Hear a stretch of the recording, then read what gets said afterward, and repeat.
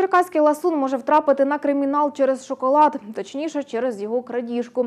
Про це інформує прес-служба управління патрульної поліції у Черкаській області. Напередодні вночі той завітав до крамниці. Із магазину чоловік виніс чотири плитки шоколаду та дві упаковки кави.